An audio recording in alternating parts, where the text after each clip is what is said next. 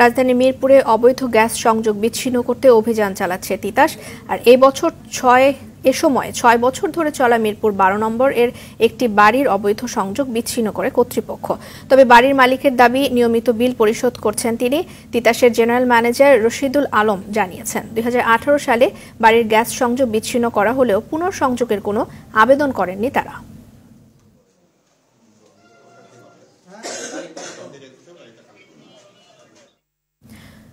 দর্শক রাজধানী মিরপুরে অবৈধ গ্যাস সংযোগ বিচ্ছিন্ন অভিযানের খবর জানাতে সরাসরি যোগ দিয়েছেন সহকর্মী আশিকুল আলম।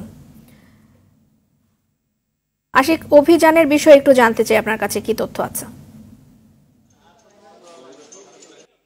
ধন্যবাদ আপনাকে। সকাল থেকে অভিযান চলছিল। তিতাস গ্যাস কর্তৃপক্ষ রাজধানীর মিরপুর বারো নম্বরে অভিযান পরিচালনা করছেন এখন আছি আমরা রাজধানীর শ্যানপাড়া যে এলাকায়, সেই এলাকায় আপনি দেখতে পাচ্ছেন যে এই অভিযানে এই বাড়ির যে মালিক তাকে ফোনে কল করা হয়েছিল, কিন্তু তিনি কোনো সাড়া পাওয়া যায়নি। তারা নিশ্চিত হয়েছেন যে এখানে একুশটি অবৈধ সংযোগ রয়েছে, তিনটি রাইজারে যার কারণেই কিন্তু এখন তারা এগুলো বন্ধ করে দিচ্ছেন। এবং তিতাস কর্তৃপক্ষ যেমনটা বলছে যে এরকম ঢাকা শহরে এরকম অবৈধ সংযোগ যারা নিয়েছেন বা নিচ্ছেন তাদের বিরুদ্ধে এই অভিযান কিন্তু চলমান থাকবে। আপনি দেখতে পাচ্ছেন রেদনা যে এখনই এই সিলগালা করা হচ্ছে। মানে সংযোগটি পুরোপুরি বিচ্ছিন্ন করা হলো। এই বিল্ডিংটির তিনটি রাইজারে মোট একুশটি লাইন সংযোগ বিচ্ছিন্ন করা হয়েছে। এবং আরেকটি বিষয় জানিয়ে রাখি আপনাকে যে মিরপুর বারো নম্বরে যে অভিযানটি চলছিল, সেখানে কিন্তু আমরা যেমনটা দেখছিলাম যে দুই হাজার আঠারো সালে একটি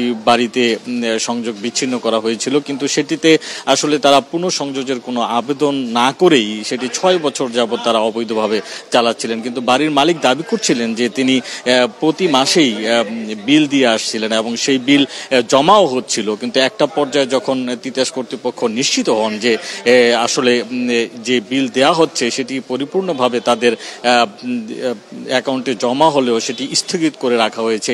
এই বিষয়টি যখন তারা নিশ্চিত হন এবং তারপরেই কিন্তু তারা এই অভিযানে নামেন এবং সেই বাড়িটিরও কিন্তু বিদ্যুৎ দুঃখিত গ্যাস সংযোগ বিচ্ছিন্ন করা হয়েছে রিদনা এই এই এই ছিল আমার কাছে রাজধানী মিরপুরে তিতাসের অভিযানের এখনকার মতো সর্বশেষ।